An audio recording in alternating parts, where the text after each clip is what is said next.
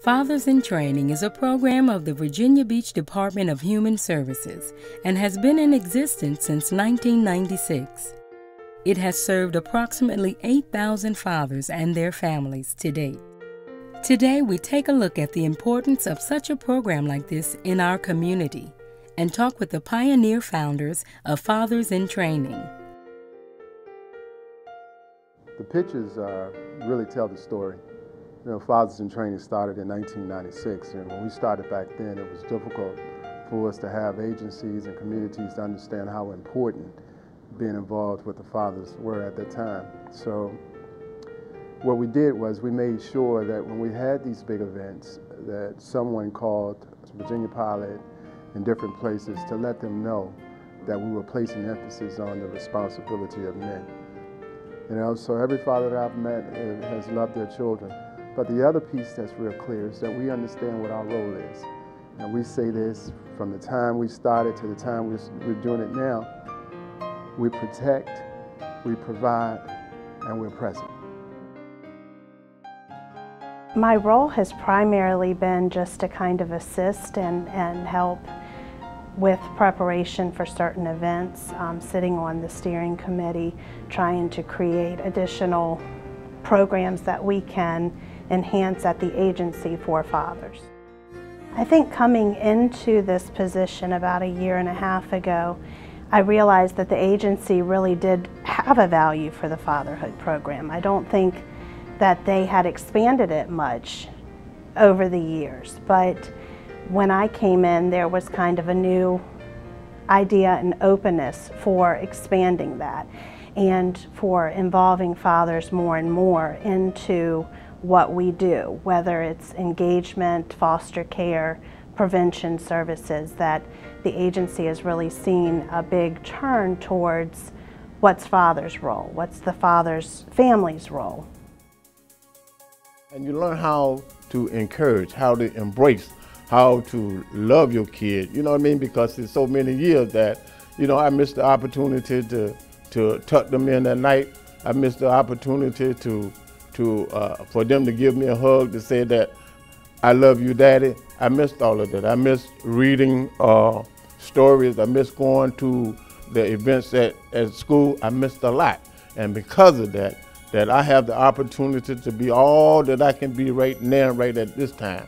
And see, this is why that Fathers in Training is dear to my heart, because I never had somebody to give me a meaningful touch, you know, a meaningful touch. The touch to say that you are my child, that you got all the potential in the world, you got the God-given potential, you are somebody. You know what I'm saying? I didn't have that, and so because I didn't have that, I try to get people to understand this is the what we got to affirm our kids.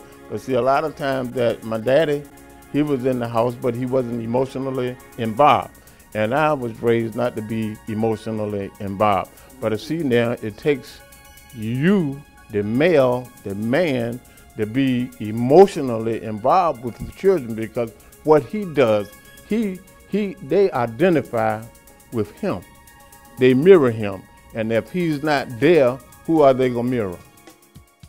I'm Stephen W. Banks, the author of Healing the Father Wound. I'm grateful for the opportunity to celebrate Brian Hawkins and just the dynamic relationship that we have to take this message around the globe. Brian, we celebrate you, we celebrate your leadership, and we just believe your best days are yet ahead of you. Enjoy your celebration, and just know we look forward to partnering with you even as we expand this mission. Thank you. Dr. Clarence McPherson, pastor of Turning Point Church and Ministries, sits down and talks candidly with Brian and Tijuana Hawkins. You know, it's, it's very interesting because sometimes you don't even know you're giving birth to anything. Mm-hmm. All you're doing is trying to do what you think is right. Yeah. Uh, a lot of stuff is built from your own personal struggles uh, where you may have failed at. So you try to get better. So, so to be honest with you, I think we kind of went into it trying to make sure that we were okay. Okay. Mm-hmm. That uh, that our relationship was strong. That we raised our children right. Uh, the stuff we struggled with thank God we had enough sense that we knew we had to get better. So some of it was, was personal frustration. Um, because we couldn't do what we needed to do all the time. And so what, what I think what we decided to do, and my wife allowed me to do it, is, is to go seek uh, whatever was burning in my heart to try to fix whatever I felt was wrong. And I felt like I needed to have a better relationship with my children. Okay. Juwana, did you know he was giving birth to this ministry called FIT? Did you know this was coming out of him? That you were supporting him and giving him that latitude? No, I, like you said, I didn't really, you know, at the time realize uh, that if we were giving birth or he was giving birth to FIT. I just knew he had a, a passion for what he wanted to do. And, you know, it was kind of difficult at times, you know, not really understanding the whole ramification, you know, as to where it was going to go. And, um, but just trying to be supportive and just, you know, helping out. A lot of things I didn't understand that are now surfacing. So, Okay. you know, and I, it's, it's kind of, it's evolved over the years until what it is today. Be present. Um, just to be present, to, to love their, you know, love their child and just be present because sometimes it's not what you can give them. It's not the how much money you have or you know, it's it's just being present because little girls and little boys just want to say, "That's my dad." They just want to have you present. Have you. That's awesome. That is good. Uh, what would you, what were, you- what were your, your I think, key?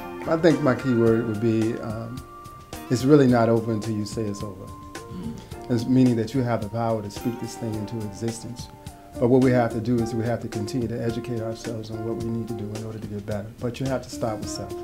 So as soon as you begin to look at your own father wounds Yeah. and start and, and go ahead and admit the fact that you hurt because your dad wasn't present or your dad didn't do certain things, know that once you go through those processes, then you can stand up and say, what's next?